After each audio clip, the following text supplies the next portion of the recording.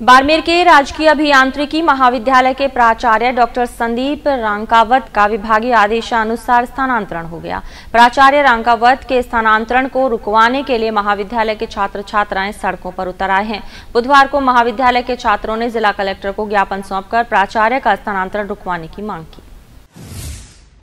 बाड़मेर के engineering college के विद्यार्थियों ने सरकार के खिलाफ मोर्चा खोल दिया है। उसकी वजह बना सरकार का वह आदेश जिसमें कॉलेज के प्राचार्य का तबादला कर दिया गया है। कॉलेज के विद्यार्थियों ने साफ़ कर दिया है कि अगर यह आदेश वापस नहीं लिया जाता है तो वह कॉलेज छोड़ देंगे। बारहवीं, दसवीं राष्ट्रीय राजमार्ग पर शुरू हुई इंजीनियरिंग कॉलेज के विद्यार्थियों ने जिला कलेक्टर कार्यालय पहुंचकर प्रदर्शन किया। अपनी मांग को लेकर सड़कों पर उतरे इन भावी इंजीनियर्स ने कॉलेज के प्राचार्य के तबादले को निरस्त करने की मांग की।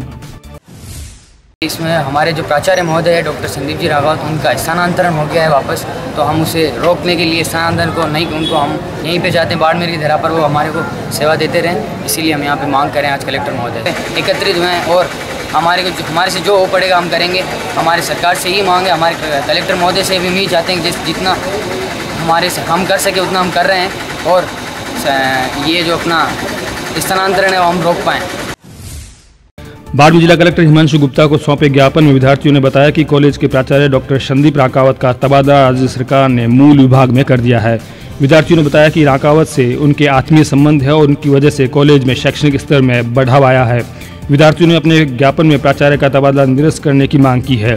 विद्यार्थियों ने यह भी चेतावनी भरे लहजे में कहा है कि अगर राज्य सरकार इस आदेश को नहीं बदलती है तो कॉलेज के विद्यार्थियों ने साफ़ कर दिया है कि यह आदेश नहीं वापस लिया जाता है तो वह कॉलेज छोड़ देंगे।